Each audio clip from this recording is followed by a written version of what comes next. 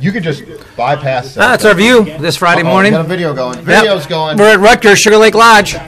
We're on the deck. Look at the, we pack them in, don't we? We pack them. Oh, I'm sorry, Judd. I was just showing the vast crowd. Oh, you Look got at a this. hair hanging from your dude. You got a hair hanging from this thing. Let me let me get that out Weird. for you. I mean, it's just clearly not mine. there was a hair. It Clearly not was mine. long. I- There was nobody in There's a lot my of there was suspects. nobody in my room last night. Paul, that's Paul Black making another appearance in the video. That's Rob. That's Rob. That's Rob O'Brien. That's everybody. Mean, Ryan, where Ryan went, but who cares? So we got uh, we, we went to a really weird. I mean, I love Zorbaz because I'm a big Brainerd guy.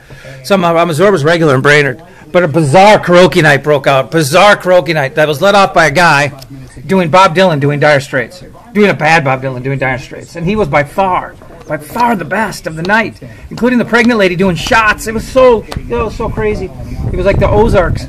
Anyway, are we gonna, are you gonna do a video here with me, Judd? We're gonna talk about the show today.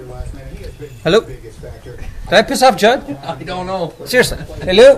What? Huh? You want to plug the show? What's Oh on the show yeah, today? yeah. Oh, we got uh, we got Gardy, we got Suhan, we got uh, we got We got look at ADD. it. Look at how nice this is. I know. There's a there's a green. There's a green over there. This is gorgeous. That lake it was a hockey rink a couple of weeks ago, and now it's gorgeous. Golf season's here. And we got Grant Bischoff. Vote for uh, hockey legend Grant Bischoff. Yeah, Judd and Dubay coming up uh, 9 a.m. to 1 p.m. 1500 ESPN. Well, you, you happy really now? Are you happy? No, you really mailed that in. Are you happy? No, you mailed I'm busy. I You're got not- stuff to do. Yeah, oh, jeez. I'm not talking to you anymore.